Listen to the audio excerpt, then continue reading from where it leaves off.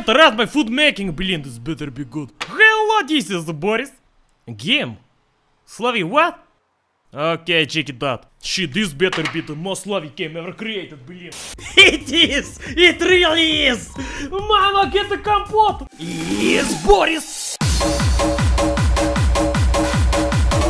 Once every 2 billion years comes along a game that is so Slav that it will make you do a squatting ovation. Welcome to game Slavistan. You think you know Slav life, you haven't seen nothing yet. You choose one of three regions Russia, Balkan or Poland.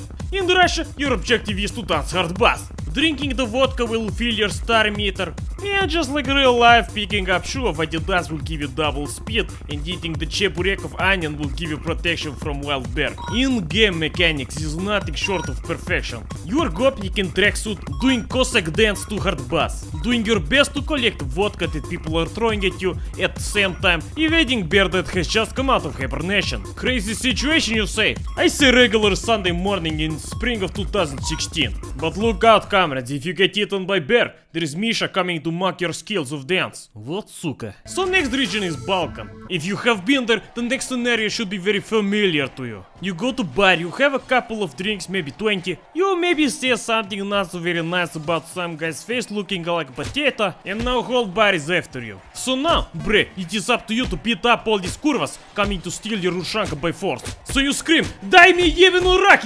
And you plow through these bitches and leave leave them wondering, how does one become so slav?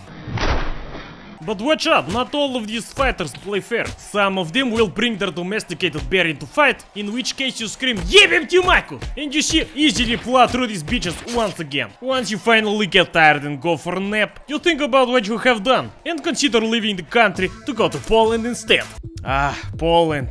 You catch up with your Gopnik friends, you say Dzień dobry kurvas, and squat down outside club of Cheeki Breeki.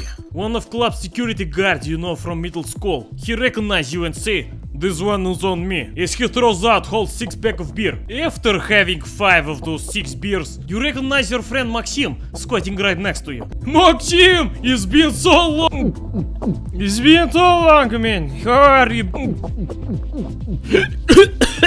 How are you? How are the kids, man? Бля! Until you take nap again and get called Amerikansky spy. You get respawned as babushka and you start game all over again from Russia.